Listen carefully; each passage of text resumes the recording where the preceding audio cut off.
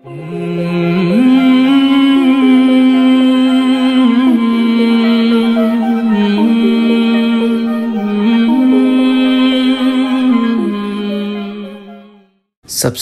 करें मेरे चैनल सैयद साद कादरी को और बेल आइकॉन दबाएँ मेरी वीडियो सबसे पहले देखने के लिए।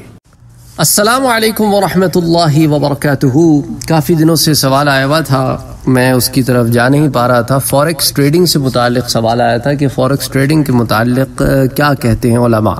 देखिए जी, आजकल जो फाइनेंशियल मॉडल्स चल रहे हैं मार्केट में, मुख्तलिफ़ तजारती मॉडल्स हैं, नफ़ा बनाने के मुख्तलिफ़ तरीक़े हैं, उनमें से एक तरीक़ा जो है वो ये भी है। बहुत सारे लोग इंटरनेट पर बैठ कर लाखों करोड़ों रुपए कमा लेते हैं मार्केट से उठा लेते हैं, कारोबार करते हैं। दिमाग का खेल ज़्यादा है और इसमें फ़िज़िकल मेहनत कम है।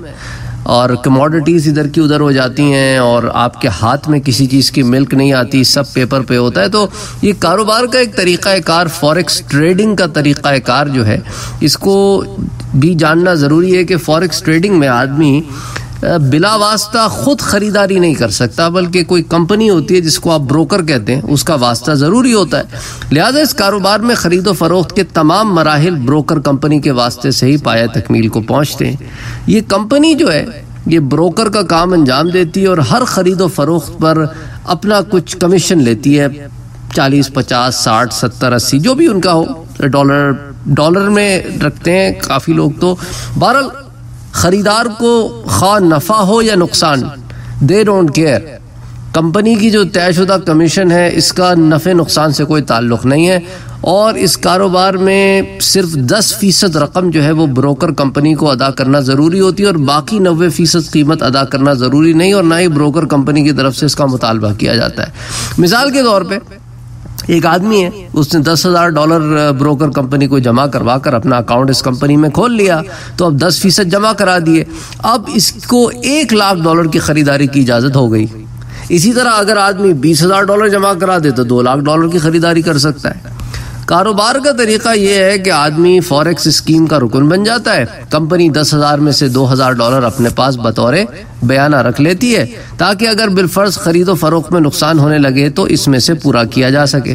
रुकन बनने के बाद कंपनी वाले इसकी रहनुमाई करते हैं कि किस वक्त कौन सी चीज़ खरीदना ज़्यादा बेहतर है और नफ़ा बख्श है।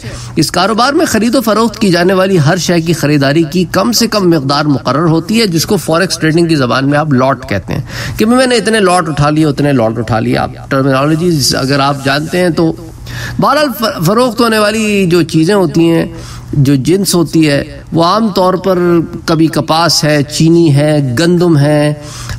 जबकि अगर आप इसको लिक्विड कैश में देखें ना, ज़र में तो सोना है, चांदी है।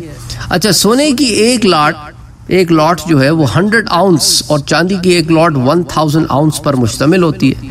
एक लॉट की कीमत मिसाल के तौर पे समझने के लिए दस हज़ार डॉलर होती है। जबकि कोई आदमी एक लॉट ख़रीदना चाहता है तो वो कंपनी से रबता करता है। इसके ऑर्डर पर कंपनी इसके लिए लॉट ख़रीद लेती है और इसकी इतला ख़रीदार को दे दी जाती है। इसके बाद जैसी ही खरीदी गई जिन्स की कीमत बढ़ने लगती है, कंपनी खरीदार को इत्तला देती है और खरीदार अपनी मर्ज़ी के मुताबिक कंपनी को इस चीज़ के बेचने का ऑर्डर दे देता है। जब कंपनी खरीदार के ऑर्डर पर लॉट फरोख करती है तो हासिल शुदा मुनाफे में से अपना कमीशन काट लेती है, बकिया नफ़ा फरोख्त करने वाले के अकाउंट में जमा करा देती है। और अगर खरीदी गई जिन्स की कीमत कम होने लगती है तो भी कंपनी खरीदार को बता देती है, ताकि ज़्यादा खसारे से बचने के लिए खतरनाक हद तक कीमत कम होने से पहले लॉट बेच दी जाए। और इस कारोबार में खरीदी गई चीज़ को खरीदार अपने शहर में भी मंगवा सकता है लेकिन इसके अंदर आपको पता है कि ट्रांसपोर्टेशन कॉस्ट होती है और ये डिलीवरी सर्विसेज़ होती हैं। फिर जिन्स के मुताबिक ये भी है कि भाई मार्केट में किधर उतारेंगे डिस्ट्रीब्यूशन सेंटर में उतारेंगे गोडाउन में उतारेंगे उसके अपने अखराज होते हैं टैक्स होते हैं।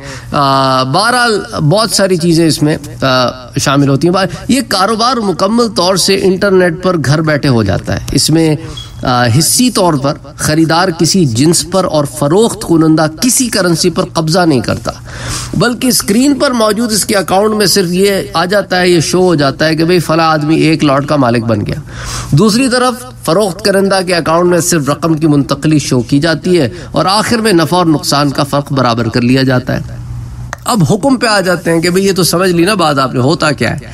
तो फॉरेक्स ट्रेडिंग जो है, वो उलमा कहते हैं कि इन वजूहत की वजह से शरान जायज़ नहीं है। एक, ये मुरवजा फॉरेक्स ट्रेडिंग में ज़्यादातर खरीदो फरोख नकद के बजाय मार्जिन पर होती है। यानी इसमें जब कोई शख्स ब्रोकर कंपनी के पास अपना अकाउंट खुलवा लेता है तो ब्रोकर कंपनी की तरफ़ से इसको सहूलत दी जाती है कि वो इसको मार्केट से कोई भी चीज़ या करेंसी वगैरह खरीदने पर इसका फ़कत दस फ़ीसद अदा करके कारोबार कर सकता है। जैसा मैंने आपको बताया, इस तरह आदमी ब्रोकर कंपनी को कुछ रकम अदा करने के बाद बगैर किसी चीज़ की हकीकी खरीदो फरोख्त के करोड़ों का कारोबार कर सकता है। और इस तरह मार्जिन पर खरीदो फरोख्त करना जायज़ नहीं है।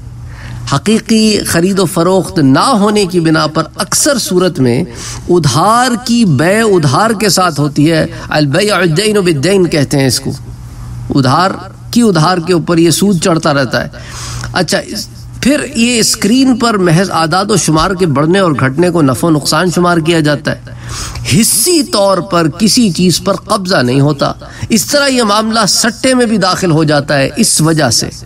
अच्छा फॉरेक्स में हकीकी रुपयों पर भी मामला किया गया हो तो भी फ़ौरन बेचने की सूरत में कबल कब्ज, यानी कब्जे से पहले बेचना है, जो शरीयत ने मना किया आप किसी चीज़ पर कब्जे से पहले उसको नहीं बेच सकते।